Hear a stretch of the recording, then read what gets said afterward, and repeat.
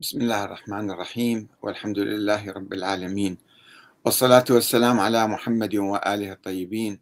ثم السلام عليكم أيها الأخوة الكرام ورحمة الله وبركاته. ومرحبا بكم في منتدى الوحدة والشورى والعدل. آه، قدمنا سلسلة مواضيع حول آه، الرؤية القرآنية للصحابة الكرام. والتي كانت تقوم على الإيمان بالله والعمل الصالح. كما قدمنا في حلقة أخرى موقف الصحابة أنفسهم والتابعين آه، من الصحابة. ثم تطرقنا في حلقة أخرى آه، إلى آه، نظرية الحنابلة التي قالت بأن الصحابة كلهم عدول وأنهم لا يخطئون وأنهم جميعا في الجنة ومجرد واحد يشوف النبي لحظة واحدة فسوف يكون هذا يعني مؤمنا وصالحا وصادقا آه، ولا يستحيل ويستحيل أن يكذب مثلا. آه، في هذه الحلقة والحلقة القادمة سوف نقدم آه، نظرية الشيعة حول الصحابة. وهل كانوا مثلا يتخذون مواقف سلبية منهم أم كانت مواقفهم إيجابية وتحترم الشيخين بالخصوص الشيخين أبي بكر وعمر رضي الله عنهما. آه، موقف الشيعة وأئمة أهل البيت الإيجابي من الشيخين أبي بكر وعمر والصحابة الكرام. إذا فإن الفتنة الكبرى التي عصفت بالجيل الأول من المسلمين جيل الصحابة يعني. فتحت الباب أمام عمليات نقد واسعة ضد عدد من الصحابة الذين قادوا الحروب والمعارك منذ حصار عثمان وقتله مرورا بحرب الجمل وانتهاء بحرب صفين. ولم يكن نقد الصحابة أو ما يسمى سبهم أو لعنهم أو تكفيرهم يقتصر على الشيعة الذين لم يكونوا قد تبلوروا بعد كطائفة خاصة.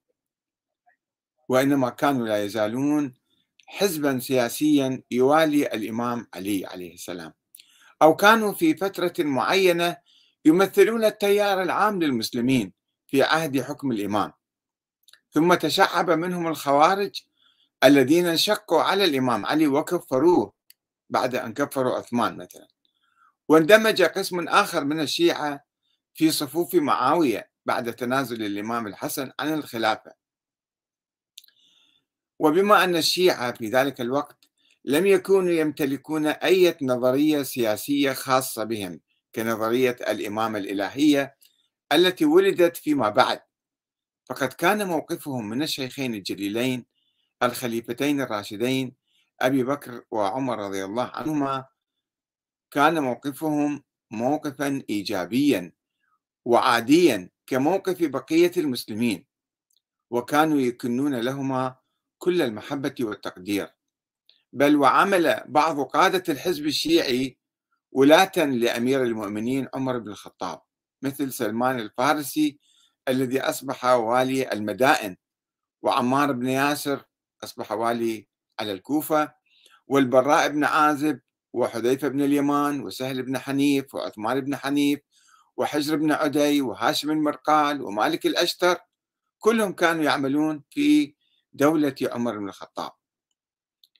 وعندما استشار عمر آه، آه، الإمام علي في الشخوص لقتال الفرس بنفسه كما طلب آه، يعني قادة فارس قال له الإمام إن هذا الأمر لم يكن نصره ولا خذلانه بكثرة ولا قلة وهو دين الله من الله. والله منجز وعده وناصر جنده. والعرب اليوم وإن كانوا قليلا فهم كثيرون بالإسلام وعزيزون بالاجتماع.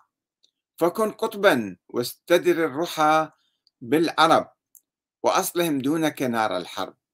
فإنك إن شخصت يعني إن خرجت من هذه الأرض من المدينة انتقضت عليك العرب من أطرافها وأقطارها حتى يكون ما تدع وراءك من العورات أهم إليك مما بين يديك. إن الأعاجم إن ينظروا إليك غدا يقولوا هذا أصل العرب فإذا قطعتموه استرحتم فيكون ذلك أشد لكلبهم عليك وطمعهم فيك. كما ورد في نهج البلاغة خطبة معروفة. وهناك رواية يذكرها ابن قتيبة الدينوري ومصادر شيعية أخرى. تؤكد هذا المعنى وتقول إن حجر بن عدي وعمر بن الحمق وعبد الله بن واهب ابن وهب الراسبي دخلوا على علي فسألوه عن أبي بكر وعمر ما تقول فيهما؟ وقالوا بين لنا قولك فيهما وفي عثمان. فقال علي وقد تفرغتم لهذا؟ ما عندكم شغل بعد الآن يعني؟ وهذه مصر قد افتتحت وشيعتي فيها قد قتلت إني مخرج إليكم كتابا أنبئكم فيه ما سألتموني عنه فاقرأوه على شيعتي فأخرج إليهم كتابا فيه. آه، فلما مضى رسول الله صلى الله عليه وآله تنازع المسلمون الأمر بعده. فوالله ما كان يلقى في روعي ولا يخطر على بالي أن العرب تعدل هذا الأمر عني. فما راعني إلا إقبال الناس على أبي بكر وإجفالهم عليه. فأمسكت يدي ورأيت أني أحق بمقام محمد في الناس ممن تولى الأمور علي. فلبثت بذلك ما شاء الله حتى رأيت راجعة من الناس رجعت عن الإسلام يدعون إلى محو دين محمد وملة إبراهيم عليهم السلام. فخشيت إن أنا لم أنصر الإسلام وأهله أن أرى في الإسلام ثلما وهدما. تكون المصيبة به علي أعظم من فوت ولاية أمركم التي إنما هي متاع أيام قلائل ثم يزول منها ما كان كما يزول السراب. فمشيت عند ذلك إلى أبي بكر فبايعته ونهضت معه في تلك الأحداث حتى زهق الباطل. وكانت كلمة الله هي العليا وأن يرغم الكافرون. فتولى أبو بكر رضي الله عنه تلك الأمور فيسر وسدد وقارب واقتصد فصحبته مناصحا وأطعته فيما أطاع الله فيه جاهدا. فلما احتضر بعث إلى عمر فولاه فسمعنا وأطعنا وبايعنا وناصحنا. فتولى تلك الأمور فكان مرضي السيرة ميمونا نقيبا أيام حياته. فلما احتضر قلت في نفسي ليس يصرف هذا الأمر عني. فجعلها شورى وجعلني سادس ستة. ثم قالوا لي هلم فبايع عثمان وإلا جاهدناك. فبايعت مستكرها وصبرت محتسبا. وقال قائلهم إنك يا ابن أبي طالب على الأمر لحريص. فقلت لهم أنتم أحرص. حتى إذا نقمتم على عثمان فقتلتموه ثم جئتموني تبايعونني فأبيت عليكم وأبيتم علي. فنازعتموني ودافعتموني ولم أمد يدي تمنعا عنكم. ثم ازدحمتم علي حتى ظننت أن بعضكم قاتل بعض وأنكم قاتلي. وقلتم لا نجد غيرك ولا نرضى إلا بك. فبايعنا فبايعنا لا نفترق عنك ولا نختلف. فبايعتكم ودعوتم الناس إلى بيعتي فمن بايع طائعا قبلت منه ومن أبى تركته. فأول من بايعني طلحة والزبير ولو أبيا ما أكرهتهما كما لم أكره غيرهما. فما لبث إلا يسيرا حتى قيل لي قد خرج إلى البصرة في جيش ما منهم رجل إلا وقد أعطاني الطاعة وسمح لي بالبيعة هذا في كتاب الإمام والسياسة جزء واحد. صفحة 133 إلى 134 وعندما جدد الشيعة بيعتهم للإمام علي بعد خروج الخوارج إلى حروراء والنهروان قالوا له نحن أولياء من واليت وأعداء من عاديت. فشرط لهم الإمام أن يوالوا من والى على سنة رسول الله صلى الله عليه وسلم وأن يعادوا من عاد على سنته. فجاء ربيعة ابن أبي شداد الخثعمي وكان صاحب راية خثعم في جيش الإمام أيام الجمل وصفين. فقال له الإمام بايع على كتاب الله وسنة رسوله فقال ربيعة وعلى سنة أبي بكر وعمر فقال الإمام لو أن أبا بكر وعمر عملا بغير كتاب الله وسنة رسول الله لم يكونا على شيء من الحق وقال الإمام أمير المؤمنين عليه السلام في رسالته التي بعث بها إلى أهالي مصر مع قيس بن سعد بن عبادة واليه على مصر.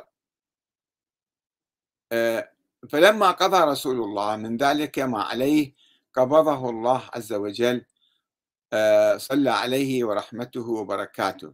ثم أن المسلمين استخلفوا به أميرين صالحين. عملا بالكتاب والسنة وأحسن السيرة ولم يعدوا لسنته ثم توفاهم الله عز وجل رضي الله عنهما. هذه الرسالة موجودة أيضا في كتاب إبراهيم بن هلال الثقفي في كتابه الغارات جزء واحد صفحة 210 والسيد علي خان الششتري في كتابه الدرجات الرفيعة صفحة 336 والطبري في تاريخ الأمم والملوك جزء 3 صفحة 550 وقال عليه السلام عن أخيه عمر بن الخطاب بالخصوص لقد قوم الأود وداوى العمد وأقام السنة وخلف الفتنة. ذهب نقي الثوب قليل العيب أصاب خيرها وسبق شرها. أدى إلى إلى الله طاعته واتقاه بحقه. هذه أيضا في نهج البلاغة خطبة 228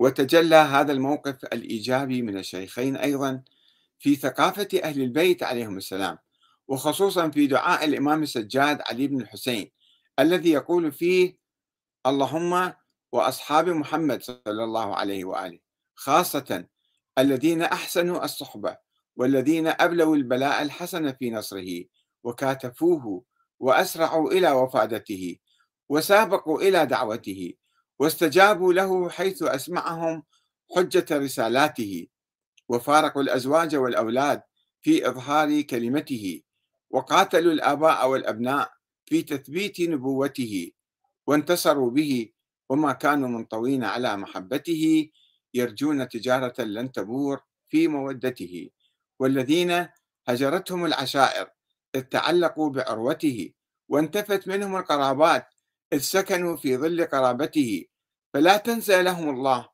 اللهم تركوا لك وفيك وأرضهم من رضوانك. هذا الدعاء الرابع من الصحيفة السجادية. وقد روى الكليني في كتاب الروضة من الكافي عن أبي بصير. قال كنت جالسا عند أبي عبد الله عليه السلام يعني الإمام الصادق. إذ دخلت علينا أم خالد تستأذن عليه. فقال أبو عبد الله أيسرك أن تسمع كلامها؟ قال فقلت نعم. قال فأذن لها. قال وأجلسني معه على الطنفسة قال ثم دخلت فتكلمت فإذا امرأة بليغة. فسألته عنهما أي عن أبي بكر وعمر رضي الله عنهما. فقال لها توليهما. قالت فأقول لربي إذا لقيته إنك أمرتني بولايتهما؟ قال نعم. وينقل كثير من المصادر السنية كالبخاري أن الإمام علي كان يقول لا أوتى بأحد يفضلني على أبي بكر وعمر إلا ضربته حد المفتري. حديث رقم 3671 حتى أن القاضي المعتزلي عبد الجبار الهمداني هذا كان في القرن الرابع الهجري آه، والخامس نقل في كتاب تثبيت النبوة أن أبا القاسم نصر بن الصباح البلخي قال في كتاب النقض على ابن الراوندي أن سائلا سأل شريك بن عبد الله فقال لهما فقال له أيهما أفضل أبو بكر أو علي؟ فقال له أبو بكر فقال له أبو بكر أفضل. فقال السائل تقول هذا وأنت شيعي؟ فقال له نعم من لم يقل هذا فليس شيعيا. والله لقد رقي هذه الأعواد علي فقال ألا إن خير هذه الأمة بعد نبيها أبو بكر ثم عمر. وسواء صحت هذه الرواية أم لم تصح وذلك لأن الشيعة عموما كانوا يعرفون تاريخيا بتفضيلهم الإمام علي. فإن من الثابت أن الشيعة في القرن الأول كانوا يحترمون الشيخين ويوقرونهما أشد توقير ولم تكن لهم مؤاخذات إلا على بعض الصحابة الذين حاربوا الإمام علي أو اختلفوا معه. وهذا ما يؤكده إمام أهل السنة في القرن الخامس الهجري اللالكائي.